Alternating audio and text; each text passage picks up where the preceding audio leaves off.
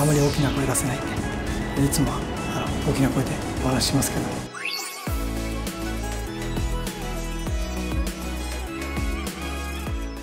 皆さんこんにちは、えー、戸田市長の菅原文人でございます、えー、今回の市長の全力町取材では全国200校以上展開をされている学習塾自立学習レッドさんの戸田公園教室にお邪魔をいたします、えー、こちらでは何でも最新のタブレットを使った個別指導型の授業を展開されているということです、えー、最先端の学習の現場を早速見てみたいと思います。およそ40名の生徒が在籍する自立学習レッド戸田公園教室。教室長である上平さんが単独で運営を行うこの塾では最新の AI 技術による最先端の授業が行われています。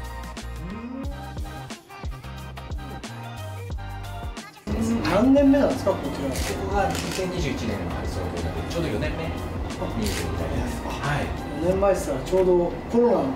始まったばっかりそうですね。コロナのちょうど2年目なのでこのタイミングでやるのかっていうふうにも言われてはいたんですけど、えー、まあ、やっぱりその戸田市の子たちに貢献したいという思いが、えー、成功して、まあ、ここで創業させていただきました。はい、そうですか、はい。それでは気になる授業の様子を覗いてみましょう。講師が集団授業を行うのではなく一人一人が個別に問題を解いていくレッドの授業。ヘッドホンをつけ AI タブレットを使って問題を解き効率よく学んでいきます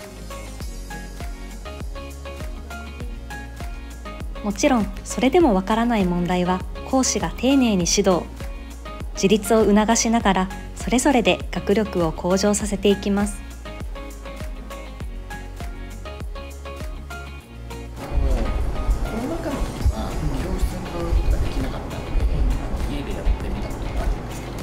先生の伸び具合で考えという、まあ、箱というか場所でやって、あのいわゆる管理者のことだった方がやっぱり成績も上がりやすいしあのびっくりしたのはお家の方もやっぱそれを望んでいただいたっていうことがあってですね。やっぱ家だとなかなか行かないじゃないですか。なのであのこういう場所に来てます。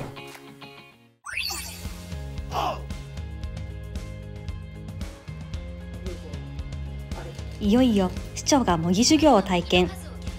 AI タブレットを使って算数と英語の問題を解きました。えー、1ポイント1ポイントってではこの分数を逆数にするとどうなるかな？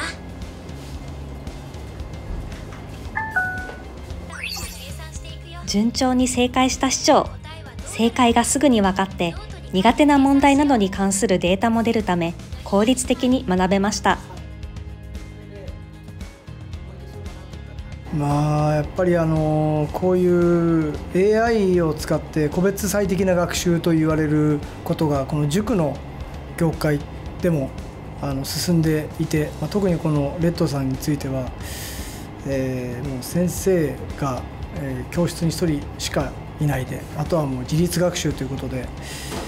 えー、生徒たちがもう AI と対話をしながら、えどんどん自分の、まあえ弱点克服したりとか伸ばすべきところをどんどん伸ばしていくっていうですね、まあ、本当にあの革新的なあの塾の業態なんだろうなということをですね。知りましたし、まあ、戸田市もあの AI などを活用したあ、まあ、学習なども進めてますけども大いにあの参考になる、えあのお話を聞けて他にも生徒の皆さんに勉強の内容をインタビューするなど民間の学習現場を知る貴重な機会となりました。志望校とかこれ決まってるんですか？まだこれから、あこれからね。じゃあ夏が勝負ですね。ちょっと塾の中なんであまり大きな声出せないんでいつもはあの大きな声でお話ししますけども今日は少し小さな声で、えー、ご視聴いただきまして誠にありがとうございました、えー、ぜひ市長の全力町取材、えー希望する市内企業の皆さん随時募集しておりますので、えー視聴講室までお問い合わせをいただければと思います。それでは皆さん良い週末をお過ごしください。戸田市長の菅原文人でした。ありがとうございました。